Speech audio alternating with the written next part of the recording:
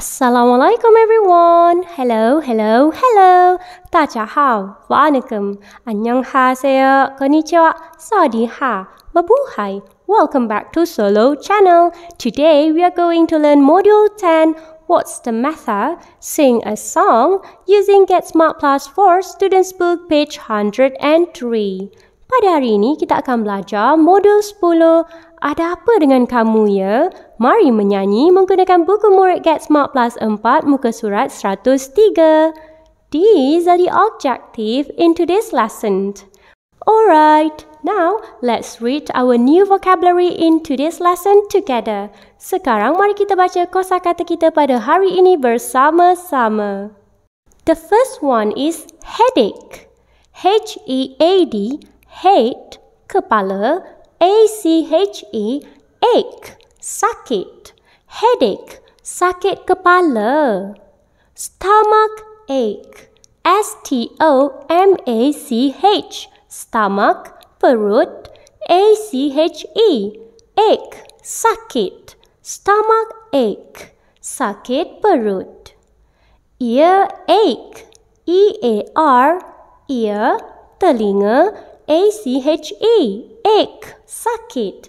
Ear ache, sakit telinga.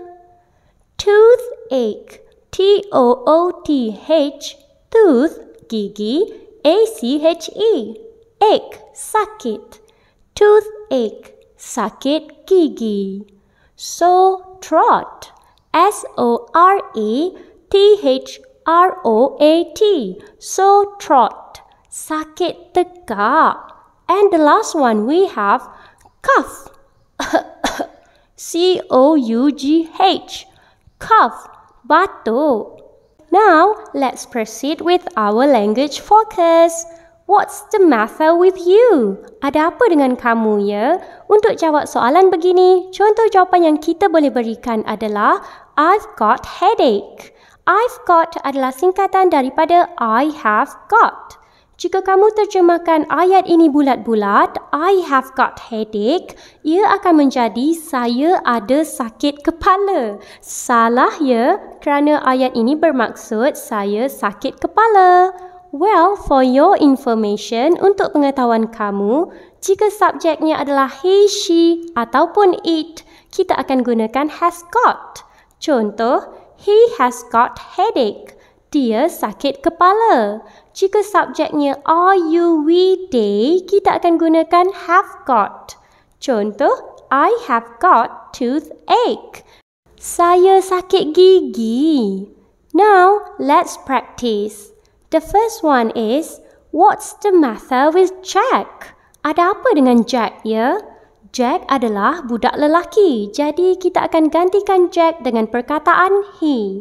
Di dalam gambar ini, Jack sedang memegang telinga dia. Bermaksud dia sakit telinga. Ear ache.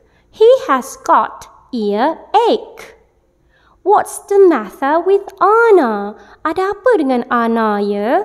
Anna budak perempuan, jadi kita gantikan dengan perkataan she. Dia sedang memegang perut dia. Bermaksud dia sakit perut. Stomach ache. She has got stomach ache.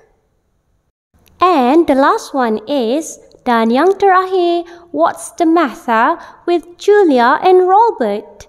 Ada apa dengan Julia dan Robert ya? Julia dan Robert adalah dua orang, jadi kita boleh gantikan dengan perkataan mereka. Mereka, they. Kedua-duanya sedang memegang gigi masing-masing. Sakit gigi. Mungkin sebab banyak makan aiskrim sakit gigi, toothache. Jawapannya, they have got toothache. Activity 1. Listen and sing dan match. Sila dengar dan nyanyi bersama-sama. Kemudian padankan. Good luck. Selamat berjaya. I've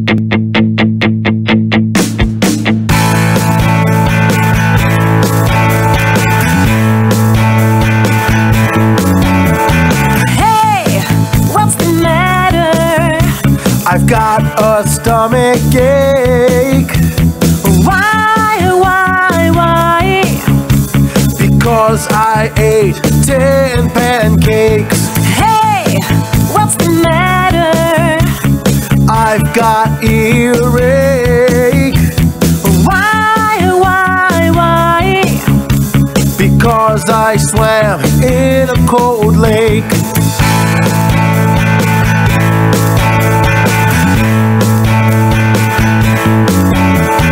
Hey, what's the matter?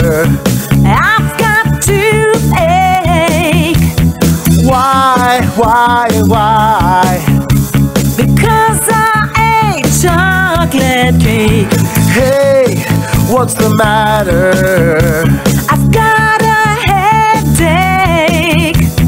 Why, why, why? I don't know, but it aches, aches, aches.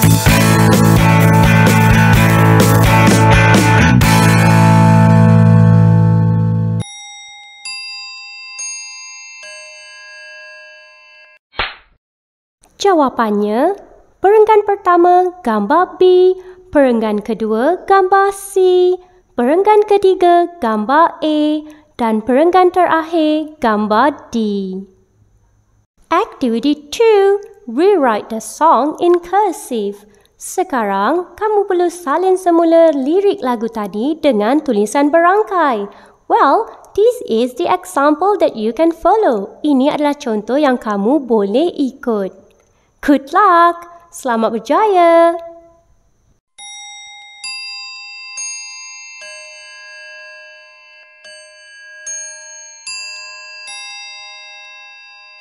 Activity 3. Play. Mari kita bermain.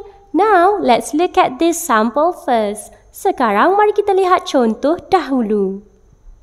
What's the matter? Have you got toothache? Ada apa dengan kamu ya? Kamu sakit gigi ke? No, I haven't. I've got a headache.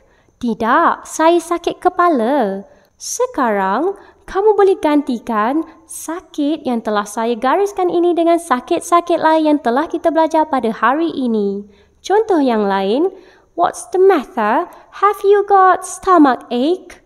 No, I haven't. I've got sore throat. Well, now it's your turn. Sekarang giliran kamu. Have fun.